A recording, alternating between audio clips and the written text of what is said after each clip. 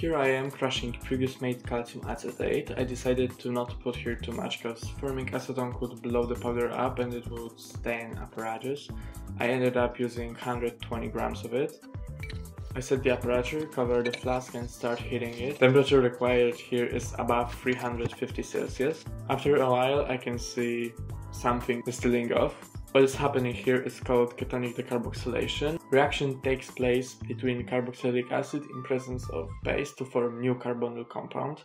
Mechanism involves nucleophilic attack of the alpha carbon of one acid group on the other acid group's carbonyl possibly as a concerted reaction with the decarboxylation. You can note this reaction from first step in famous cubane synthesis where adipic acid undergoes ketonic decarboxylation to form cyclopentanone. I ran it for another 5 hours only to get less than 30 milliliters. Reaction was not done because leftover powder in contact with sulfuric acid doesn't produce a lot of gas like baking soda uh, but it can but I can smell strong acetic acid scent. That means there's a lot of unreacted calcium acetate.